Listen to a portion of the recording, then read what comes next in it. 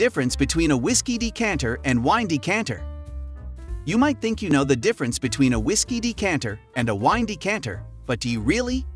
Today, we're talking about something that most people don't understand. The difference between a whiskey decanter and wine decanters. Many people will just look for the cheapest option when they need a new decanter. Still, there are actually some important differences between what you think is a whiskey decanter for a wine decanter. Whiskey decanter is usually made out of either glass or crystal. It is a vessel with a stopper, and they typically have intricate etchings.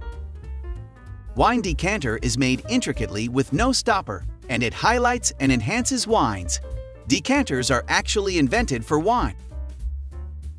So how do they differ from one another? One would be hard-pressed to find two decanters more different than a wine and whiskey decanter. While they are both intended for their respective drink, there is an even greater divide between the purpose of these containers that one may not have considered when first looking at them. Size and weight. When it comes to whiskey decanters, they are smaller in size compared with wine decanters. You drink whiskey in little amounts only. So with this, a small capacity decanter is understandable.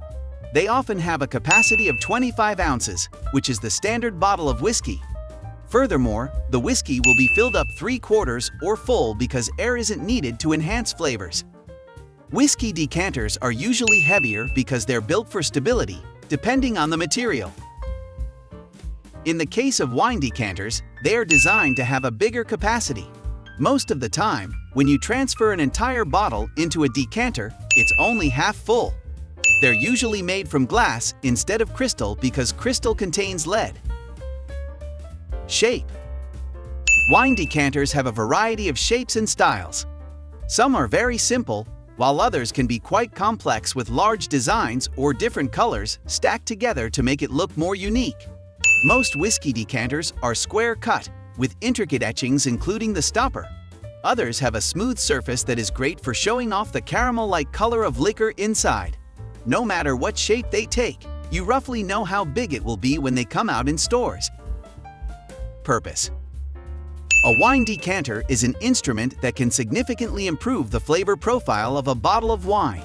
When pouring from a container to the decanter, any sediment will remain in the original jar, and so it's already smooth, not gritty or coarse. More important than simply removing sediments, though, is by encouraging air into your glass, which has significant effects on taste and smell. On the other hand, whiskey does not have all those processes needed to attain a better tasting drink. So whiskey decanters are mainly for aesthetics purposes. Stopper Wine needs air, so no need for a stopper or a cap. They need to have a wide mouth to introduce as much air as possible so that the decanting process can work and be effective by transforming wine into an amazing liquid. Whiskey is a spirit that doesn't need air to taste delicious. It can still oxidize slower than wine and will likely not do anything to improve the whiskey, so it's better off with a stopper. Besides, whiskeys tend to serve more for storage rather than preparation because most people won't finish an entire bottle in one sitting. Effect on the drink Two huge factors that go along with oxidation are alcohol content and tannins. They are responsible for making a drink taste bitter and astringent. Tannins have a huge impact on wine because they can produce a dry sensation in the mouth. But with the help of decanting, those unpleasant flavors can be mellowed out and can ultimately make the wine taste better by way of aeration. Whiskey also has traces of tannins, given that whiskey is aged in oak barrels, but not as much as wine. Since it has lower tannins, the flavors are retained since its removal from the barrels.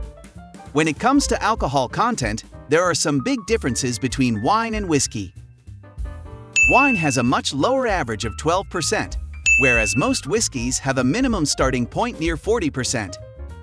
When the liquor has a higher alcohol content, they are resistant to changing their composition and taste.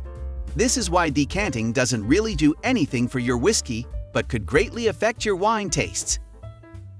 Occasion Wine is often served at dinner parties and other social gatherings.